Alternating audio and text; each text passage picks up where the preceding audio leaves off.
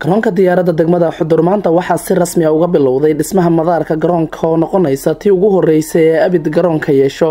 Waxaana hirgelinaysa wasaaradda gaadiidka iyo garoomada dowlad goboleedka koonfur galbeed soomaaliya oo la kaashanaysa guddiga isxilqaan ee degmada xudur iyo maamulka. Dhismaha cusub waxay ka koobnaan doontaa qaybta nasashada holweyn qolal rakaabka loogu adeego iyo musqulo way adag tahay xilligan howlo noocaana in laga fuliyo magaalada xudur oo go-doon ku jirta hase ahaatee wasiirka gaadiidka iyo garoomada dowlad goboleedka koonfur galbeed ayaa maanta keenay diyaarado xamuula oo sida shamiindadii dhismaha lagu dhisi lahaa maadaama gudaha magaalada xudur aan laga helaynin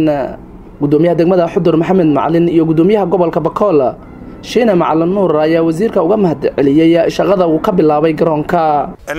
Gurigii iyo hoolkii iyo macnaha fiiskiliin suubii arantiya runtii ilaahay mahado iskule mahadaasoyba iskulaha wasiirka gaadiidka arantiha guri madaxninka suubii runtii wayba ogdina degmada xudur. Garoonkan walbadanga macnaha iyo iyo dhigaha dhaki. Gudoomiyihii gudoomiyaha baarlamaanka tirooga soomaaliya dhigaha dhaki. Wasiiri badanga dhigaha dhaki. Nasiib wanaag geeka wayba nasiibshay nagatay ini wasiirkii ha ku jawaab arantihayti runtii arantiyan kama naqaan wasiirka. Wali dareemanaha qalab badan oo maanarday oo antanan baahnya maanaha meel raasi jidnanin furnayna badanga jara. Xeeladeeyo sheelankataba shamiintaha bilaawin wali ku rajeeyna insha allah unoo maanaha dad badan la kaaladaw maanaha wali isbedeli doonaan. Wasiir arago hayta maanaha markii oo garoonkan oo lukushaki diyaarado warbixin xun ku dhiibow nagadeen liyin maanaha meel raasi garoonkii maanaha lugin oo kaban jareen iyonayta gaabkasii liyin wali maanarde oo maanaha maamul iyo bulshib an ka heena an maanaha meel rays dadnimadii oo maanarde madohor adeegsadaan isagana hasiinqayliini wasiirka gaadiidka iyo garoomada dowlad goboleedka koonfur galbeed soomaaliya xasan xuseen maxamed oo goobjoog u ahaa bilowga dhismaha garoonka ayaa sheegay siday uga go-on tahay wasaaradiisa hirgelinta garoon caalamiya in loo sameeyo magaalada xudur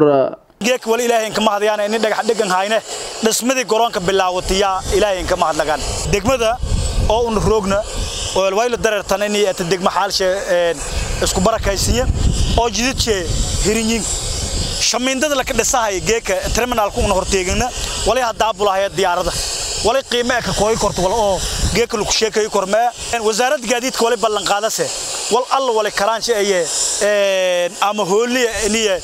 oo oo toosaya ku gudi doonta dhismaha garoonku wali kale aan mahadnagaana guud ahaan maamulka degmada iyo isxilqaan guddiga isxilqaan oo yoon naftiyo kaalin muhiim ay ku qaadeen oo shaqooyinka dhina badan noo luwadaan ayoon aan mahadnagaan ilaahay idin sheeg wali rajeena insha Allah waqtiga kale una haskanagdaan waqtiga kale waqtiga kale una haskanagdaan ini garoonku oo terminal teena dhamaystirmay raawayga shaqada ka dareertona insha Allah dhamaatay inaynu iskaaskanagano rajeena maxamed xasan cabdiraxmaan warbaahinta qaranka